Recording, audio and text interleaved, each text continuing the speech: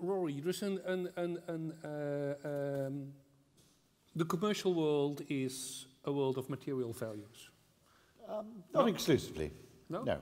You would be a very, very bad manager if you attempted to run people entirely using numerical metrics and incentives. I mean, uh, the, the, the, more astute business people are actually uh, not quite as uh, portrayed. I think that's fair to no, say. Because what, what, I'm heading at is, what, what I, or what I wonder about is, also related to, to, to, to remarks of, of, of, Roger. What happened to our values? You know, why is it that we started to believe that uh, uh, uh, many things you know, commercial world wants us to believe in are indeed, you know, the most important things there are?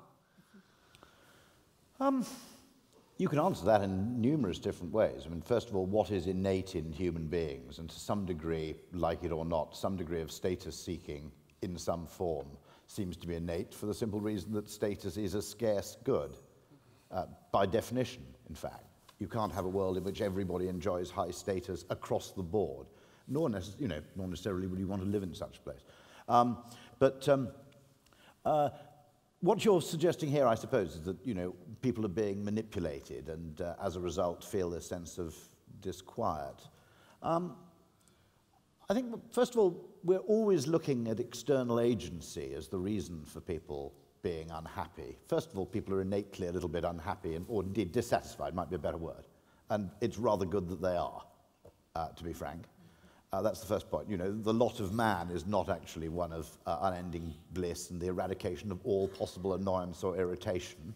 Um, the second point is we always blame things on external agency, but quite a lot of what is probably causing disquiet in society is actually the product of things people have freely chosen to do themselves. Um, atheism might actually be a very good explanation for one of them, by the way. Um, urbanization, you know, patently, uh, you know, a society which was mostly rural and lived in communities of 150 to 300 will suffer a certain amount of dislocation, being rapidly exposed to huge numbers of other people with no sense of identity or indeed you know, not even paternity. And there's actually a great correlation between that. Why did Neiman Marcus, the luxury goods store, start in Dallas and Houston, not in Boston? Oil money. People arrive very rapidly, unsure of their status, paranoid about their status. Suddenly, luxury goods sales go up. Uh, shortage of females, incidentally, also leads to higher luxury goods purchases on the part of men. Um, so um, but putting large numbers of people, particularly also the extent to which classes of people now cluster together so closely, so you're in very, very close competition. The banker who actually, you know, the banker who once would have thought himself as immensely rich lives next door to someone he envies. So all those factors like, you know, urbanization and, uh, and the change in sort of demography and, and uh, human migration, which happens, it's a complex system. It happens on the basis of individual choice. And some of the consequences of those choices are going to be slightly unfortunate. But, but, but it, well, no, Roger, please. I want to say something. The word modernity was not uttered, this word modernity. We live in a modern society, modern societies. And modernity, since it came about, first in Europe, then by now in the whole world, has something standing features. What is characteristic of modernity? First and foremost, it is distribution through the market, redistribution, if there is, through the state. And that's a combination of capitalism and socialism, yes. if yeah. I may say so. Second, it's a dissatisfied society, because the first slogan of modernity was every person, every man, woman are born free. Never before have they uttered this sentence. It was an absurd sentence. One was born a master, the other was born a slave. The moment we said all men are free, we created a dissatisfied societies because we are not free enough, because some are more free than us. Uh, we are not equally free. So everyone is dissatisfied. Nothing wrong with dissatisfaction. This is what I want to say. Because dissatisfaction keeps our society alive and kicking in previous societies, in traditional societies, if you're entirely disabled, came the crisis. Of course, crisis, I agree with you, it's a metaphor, okay? But according to this metaphor, the sick person either dies or recovers. Normally, traditional societies die in crisis. Modern society, for the time being, recovers always from this crisis. Crises belong to the life of modern society. Without crisis, you cannot survive. Without newspapers, you cannot exist. Without propaganda, you cannot exist. Because we need to remain dissatisfied. You need to be able to say, what exists is wrong. Something else would be good. What exists is ugly. Something else would be beautiful. What is, exists, that's the most important, is unjust. Something else would be just. We live from this. Sometimes we are right, something we are wrong when we make the propositions about this something else. When we make the wrong proposition, disaster can follow, as we know in from the 20th century. But it's our responsibility, not. Yeah. Uh, uh, yes, uh, well, Agnes Heller has just given a wonderful demonstration of what it is to be alive and kicking. I, I, I, felt the table vibrating under the effect of it.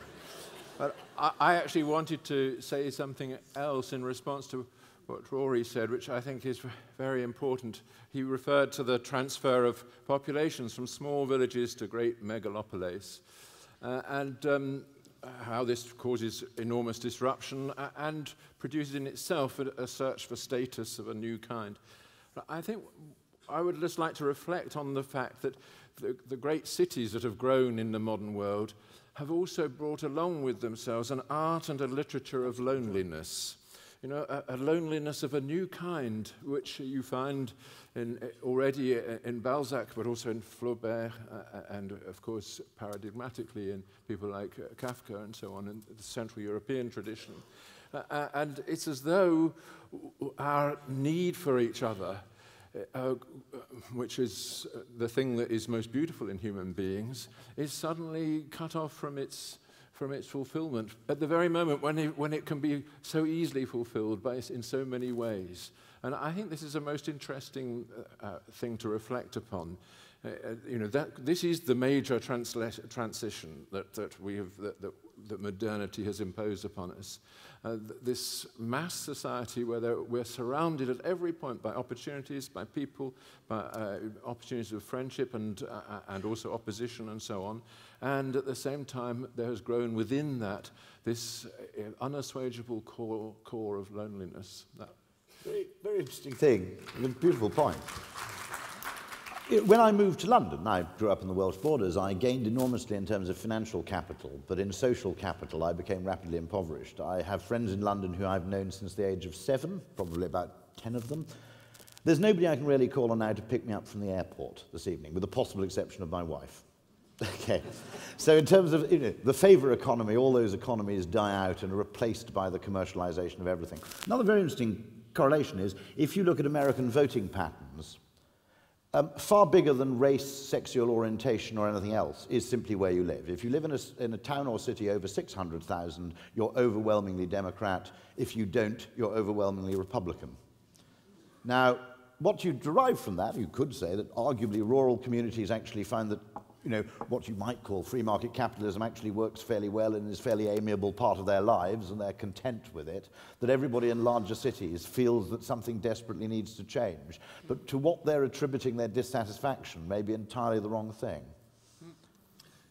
Daniel, to start for, for all of you, but why is it that we embraced in the 80s, 90s, uh, uh, this model of neoliberalism? Why is it that, that, that it could become such a powerful ideology that for at least two decades we wanted to believe that the financial world and everything related to that, you know, would be our future and, and well, why?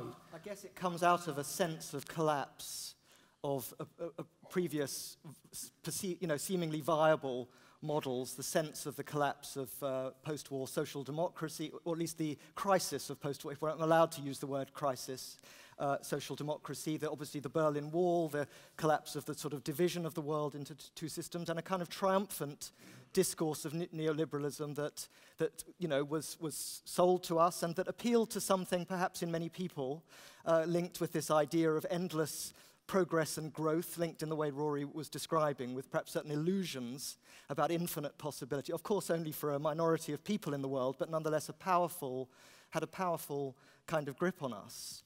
But I want to come back. I mean, there, there, of course, there was that feeling of, of, a model triumphant. But if we're thinking about modernity, which Agnes is inviting us to do, I think one should hold on to another side of modernity in this discussion, which is, I'm thinking of Zygmunt Bauman's book, Modernity and the Holocaust, that in a way the question then of what it was in modernity that doesn't produce this kind of more creative flux and change and emancipation, but certain kinds of risk uh, and the, the, pull towards the drive towards the, the world of camps and extermination or the world of a police state and so on, which has to be also the, the sort of other side of any conversation about modernity, presumably, of the emancipatory possibilities and that much darker side and how one understands those relationships because they're clearly very modern forms of barbarism. They're not simply some archaic remnant. There's something that modernity produced that, that is extremely ominous. And that, that's, I, as a hist historian, I guess I'm interested in the history of the endeavor to understand those processes and what they owe to social factors, politics, but also to perhaps to certain things about people, to the nature of mind, um, the unconscious, and so on, that the, the, Frankfurt School thought about, many people thought about in the 20th century. I, the book that came to my mind was Erich Fromm's great book, which I still think people, you know, it, it repays rereading, Fear of Freedom, uh, which was also translated as Escape from Freedom in 1941, which was an attempt to think about in a way, you know, this kind of put the, the, the fear people have of freedom and in a way the lure towards authoritarianism. And that's also part of the story of modernity. I think it's very important Think what you said and what you said. It's basically impossible to compare gains and losses. That's our problem. You spoke, uh, spoke about, uh, about loneliness. That's very true. But loneliness is a loss but solitude is again. So you cannot, uh, this is what you cannot compare basically. I would not say to that is wonderful, it's a progressive epoch, not at all.